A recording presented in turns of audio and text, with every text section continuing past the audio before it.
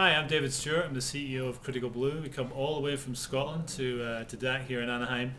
And uh, we're focused on uh, solutions for the multi-core market, and in particular, uh, helping people get from sequential programming into parallel programming and onto multi-core architectures.